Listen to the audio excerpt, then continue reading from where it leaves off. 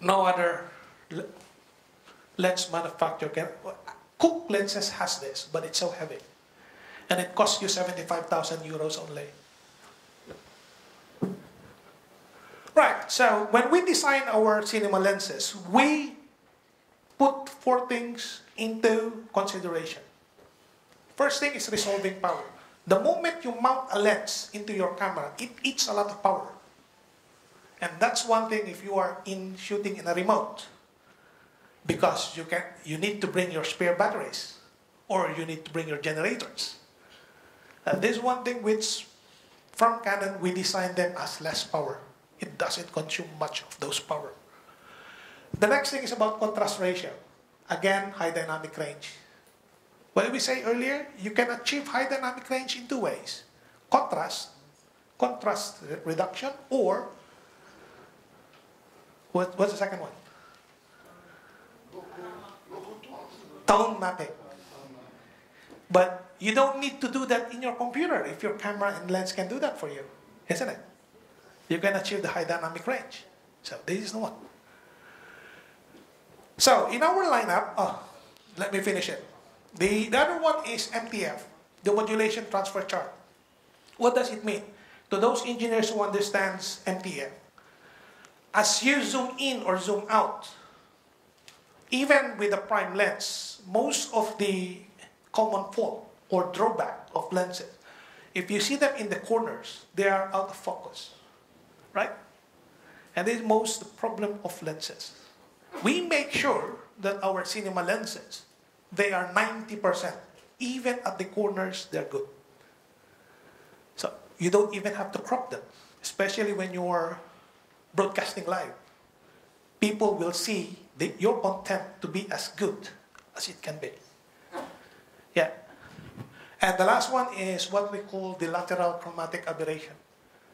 Um, there, how good the lenses were designed.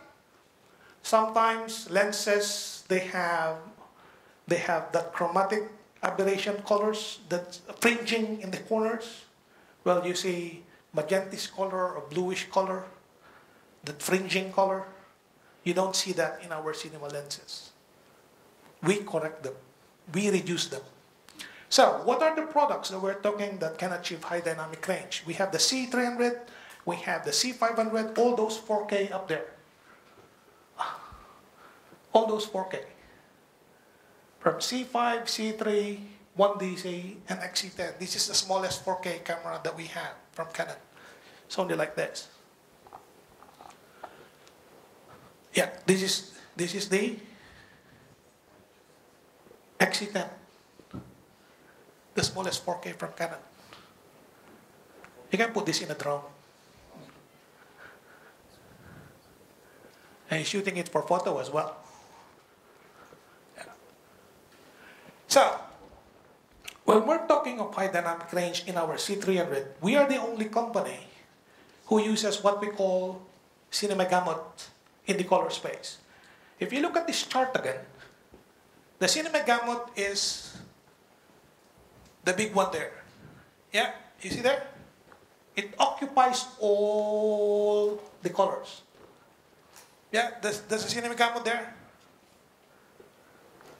That will give you right from the camera the high dynamic range that you're looking for.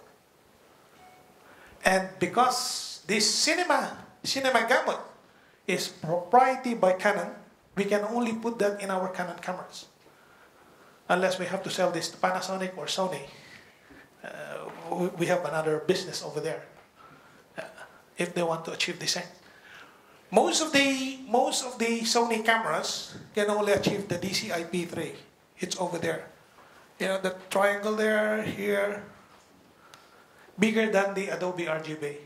It's good, but in terms of looks and high dynamic range, no, it won't give you that punch. When we're talking of 4K, there are two kinds of 4K. We have the DCI format, which is the 40, 4096 by 2160, and the other 4K is what we call the Quad HD. What this camera can do for you is it records Quad HD, the 31, The 3840 by 2160. That's the 4K. The second 4K type. And this, why we use this? Because the TV that you're going to buy commercially is using only this. So, if you're doing your 4K content tomorrow, it should apply to what your consumer will be using in their houses. The Quad HD format. Okay. Um, the the BT 2020, there are only two cameras, there are only two brands who are using this. The Arri, anybody who has heard about Arri? Arri Alexa, Arri, yeah, and only Canon who can achieve the BT 2020. No other camera till date to have this. And in terms of workflow, how you're going to work with your footages tomorrow, it's only Adobe and uh, the Avid that can work with those footages. If you're using Final Cut Pro, sorry, you need to change your workflow. Only Avid and Adobe. DCI P3, this is the most common color space where uh, that even Ikegami, Ikegami cameras or Sony cameras or the Panasonic cameras are using. Um, that's the common color space. That's how big it is only. It doesn't occupy that big space. And this is defined by the DCI and the SMPTE from the US. It's a global association of cinematographers. Right. The other thing when we're talking about high dynamic range is there is a group of people who call themselves ACES. This is the, the next trend in filmmaking or content making. You need to achieve that high dynamic range. And if you want to follow those trends, you need to follow this standard, ACES standard. It's the industry standard that will give you a consistent color experience and it addresses the loopholes of the workflow from the production up to broadcast. It should all match the colors. And this is the ACES workflow. Right.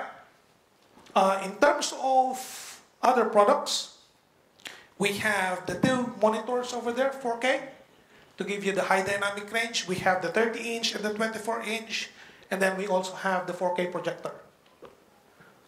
Um, if you are a producer tomorrow, most of the projector that you will be buying can only project that size, that big size, if you bring them at the back, right? To give that size. In Canon, we have what we call short throw. Even if, even if the projector is at this distance, I can still give you big size. You don't need a big auditorium two times, two times a basketball court to give you the projection size. You don't need to have that. Because you need to buy the space anyway. Construct the space, isn't it? You don't need to. We have a projector, even at this distance, will give you that big screen size.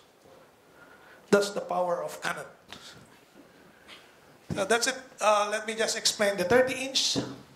And we have the 24 inch. And like I said, to achieve, to achieve a high dynamic range, it should have the Bayering process. And right from the monitor, if you want to see the debayering process of the camera, this monitor can achieve that. Okay, let me start with ENG cameras. The first ENG camera, where is that camera now? It's moving around? Yeah, that's the XF205.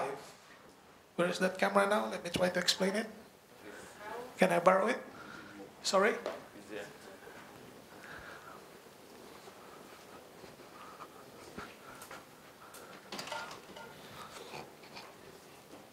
Unlike other cameras that you're buying out there, ENG, our Canon cameras Once you buy them, you have already a battery in it.